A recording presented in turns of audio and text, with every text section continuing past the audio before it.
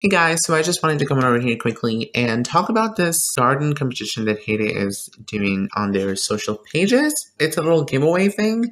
If you want to win free diamonds, this is a perfect opportunity because Hay Day is going to give 10 lucky players 50 diamonds. All you have to do is to show them your colorful decorated farm. And I think it has to be like a garden or spring theme or basically just how good you've decorated it. So where you can post uh, the screenshots of your farm, it's either on Twitter or Facebook. You can't post uh, the screenshots of your farm on YouTube because Hay Day did post uh, this image on YouTube community post, and people were like, "How do we do it?" So you have to go on Facebook. If you have an account, you can do it easily.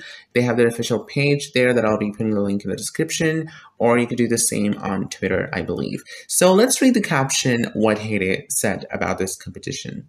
As it's garden week, we thought it'd be the perfect time for a show us your farm. Now is a chance to let us see how great your farm is, and today's category is most colorful.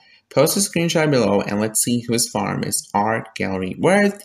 The 10 most colorful ones will receive 50 diamonds. So I think you have to show different colors, just like a garden is. You know, this can be a mixture of a lot of trees, um, bushes, golden decorations with even the crop. Use crops as part of the designing. So do whatever you can, bring up your artistic skills and show Hay Day your farm who knows? You could be one of the lucky winners. I'm not going to do it because I can't do it. My farm is not decorated at the moment.